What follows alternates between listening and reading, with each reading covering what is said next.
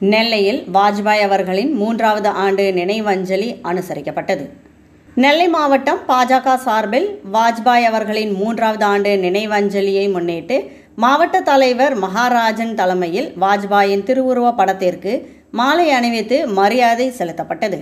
இந்நிகழ்ச்சியில் மாவட்ட பொதுச் செயலாளர் முத்துக்குமார் தொழிற்பிரிவு மாவட்ட தலைவர் நடராஜன் ஐடி பிரிவு மாவட்ட தலைவர் பாலமுருகன் வழக்கறிஞர் பிரிவு மாவட்ட தலைவர் கார்த்திகேயன் மேலப்பாளையம் மண்டல மேற்கு செல்வகுமாரன் தச்சநல்லூர் வடக்கு மண்டல தலைவர் வாசுதேவன் பாலை கிழக்கு மண்டல தலைவர் ஜெயசித்ரா தச்சை தெற்கு மண்டல பொதுச் செயலாளர் கலை சசிகுமார் துணைத் தலைவர்கள் இசக்கி இசக்கி ராஜா உட்பட பாஜக நிர்வாகிகள் பலர் கலந்து கொண்டனர்.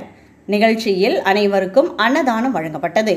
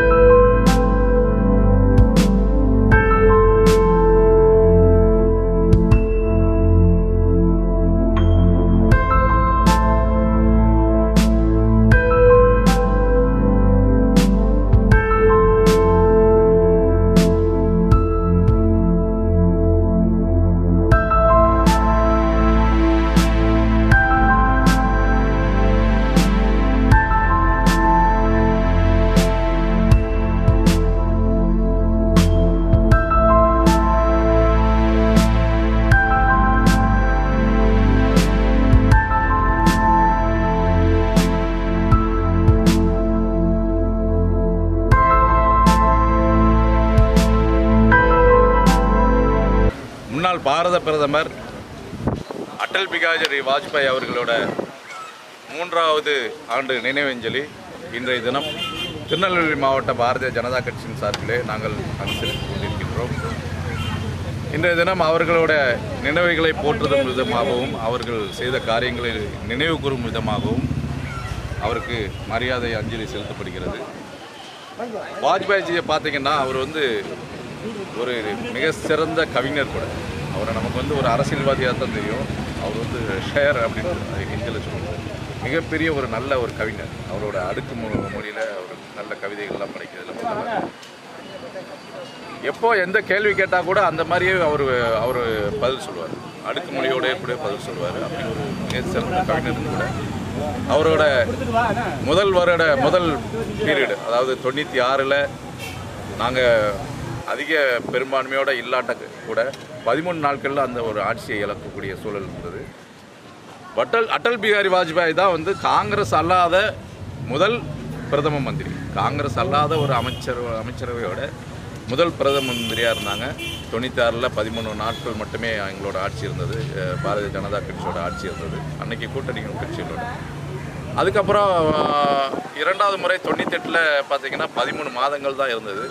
இருந்தாலும் தொண்ணூற்றி ஒம்போதில் நடந்த எலெக்ஷனில் நாங்கள் பெரும்பான்மையாக வெற்றி பெற்று முழுமையாக ஒரு பருவத்தை முடித்தோம் அப்படின்னா பாரதிய ஜனதா கட்சி முடிச்சது அப்படின்னா அது அட்டல் பிகாரி வாஜ்பாய் காலத்தில் தான் முடித்தோம் அந்த ரெண்டாய ஆயிரத்தி தொள்ளாயிரத்தி தொண்ணூத்தெட்டில் தான் இன்றைக்கி உலகமே வியக்கக்கூடிய அளவில் பாரதத்தை பார்க்கக்கூடிய ஒரு சூழல் இருந்தது.